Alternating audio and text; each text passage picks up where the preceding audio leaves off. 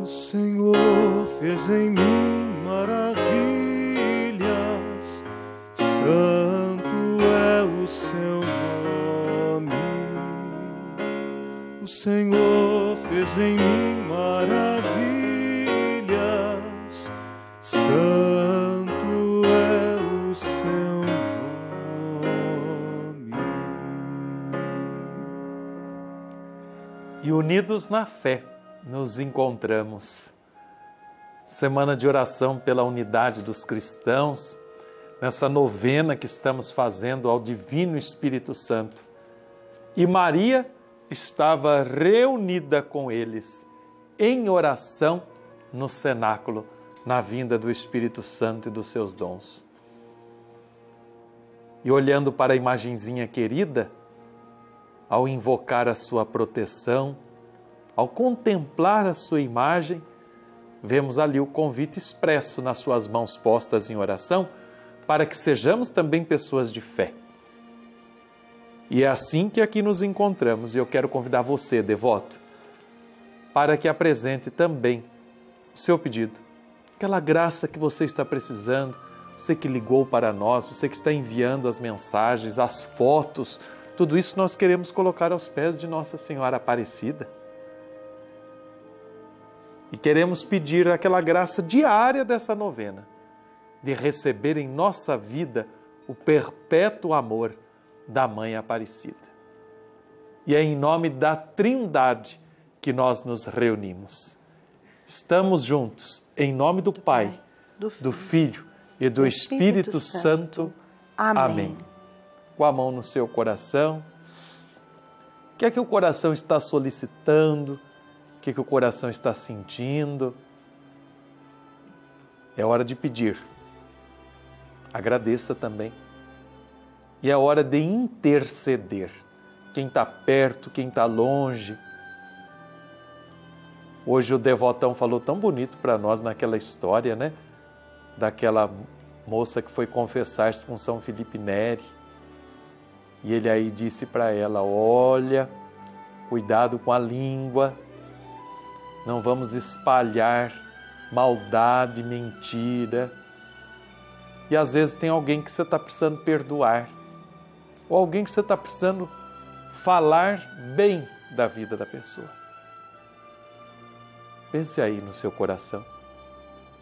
E é na força da oração que nós vamos nos unir cada vez mais, que nós vamos encontrando caminhos de santidade. Recolhendo o seu pedido, coloco, Senhor, a minha vida em Suas mãos e peço pela intercessão da Mãe Aparecida que atenda a minha prece. Senhora Aparecida, ó Mãe do Redentor, nós somos vossos filhos,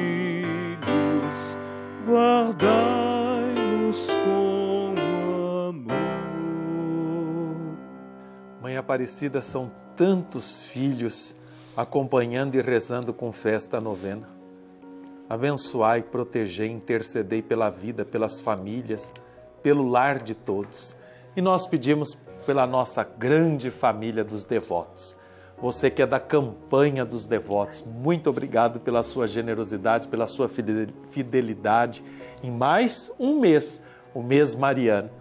Persevere conosco, esteja com a gente, esteja unido a esta nossa missão que não pode parar graças à sua doação, à sua colaboração.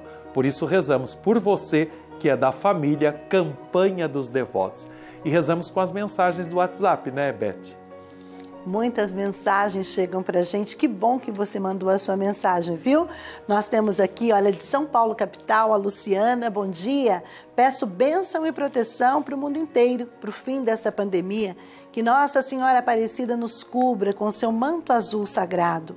Oração também por minha tia Maria, que está em tratamento contra câncer e vai passar agora por um alto por um outro transplante.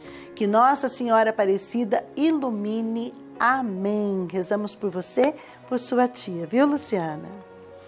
Ah, que lindo! Olha, também uma presença aqui da família toda quando vieram aqui no Santuário Nacional. Nossa, que foto alegre, todo mundo sorridente ali. Com certeza foi um dia muito especial para vocês, né? Lá de Mangaratiba, Rio de Janeiro, a Marcélia. Bom dia, peço oração pela saúde de meus queridos pais que moram comigo. Eles têm 92 anos a mãe, 96 anos o pai. Olha que benção, gente.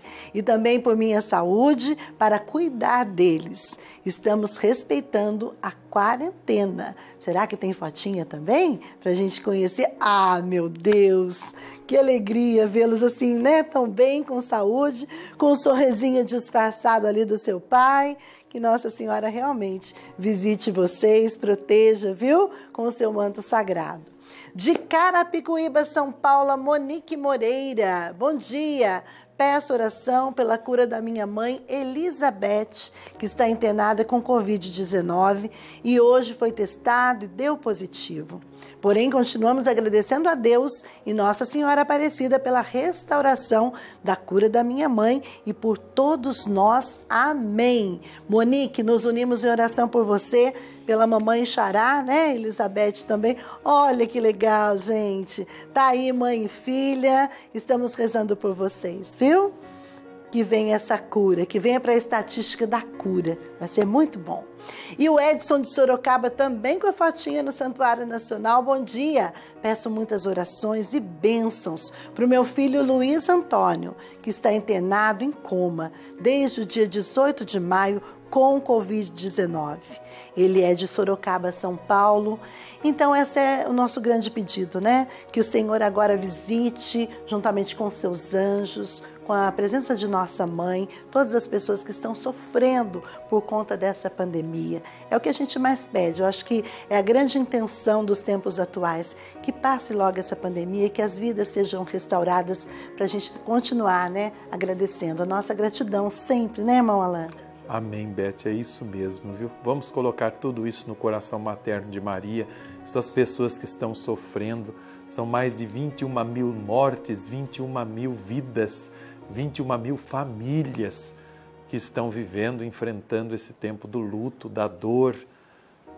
Queremos rezar por vocês, meus queridos, essa novena de Aparecida. Os profissionais da saúde, pelo fim dessa pandemia e queremos rezar por aqueles que estão sendo diagnosticados com o Covid-19. Nós vamos vencer, a vida vai vencer. Vamos confiar tudo isso no coração materno de Maria? Ó Mãe querida, acolhei e intercedei todas estas fotografias, estas mensagens, os telefonemas, as intenções que chegam aqui em vosso santuário e acolhei as nossas súplicas. Por isso clamamos a vós. Oh Mãe, protegei nossos lares.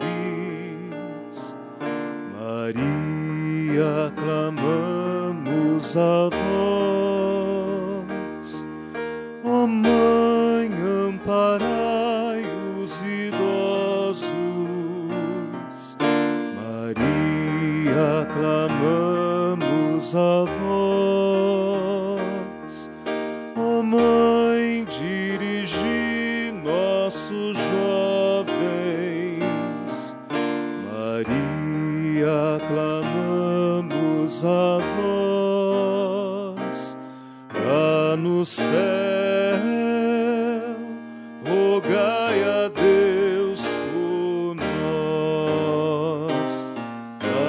Céu,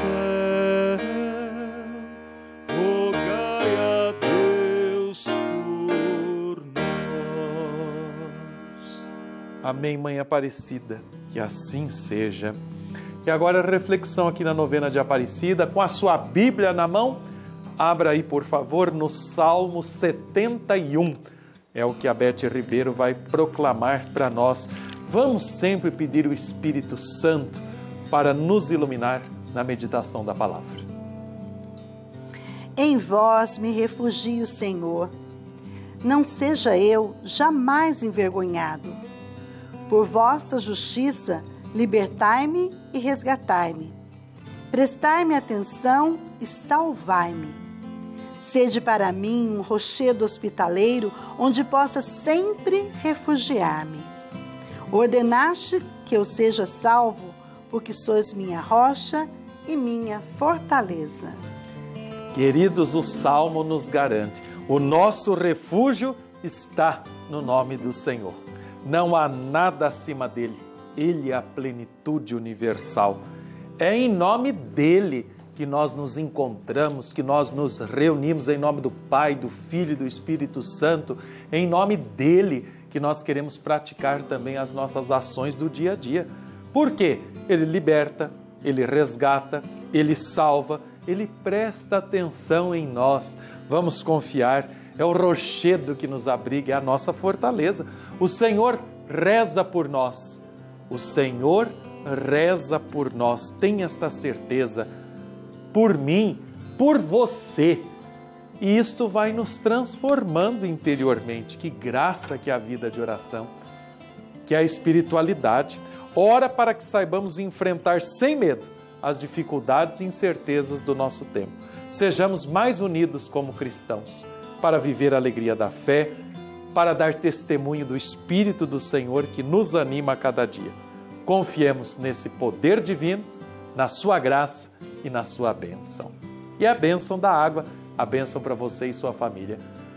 A nossa proteção está no nome do Senhor, que fez o céu e a terra. O Senhor esteja com todos. Ele está no meio de nós. Ó Pai de bondade, nós te pedimos, derramai a vossa força divina sobre esta água que aqui agora apresentamos e vossos filhos a têm em suas casas. Que ela nos purifique, que ela nos cure de todas as enfermidades, dando saúde física, espiritual e psicológica. E a bênção para todos que estão nos acompanhando, por intercessão da Mãe Aparecida. Que venha a bênção do Pai, do Filho e do Espírito Santo. Amém. Amém.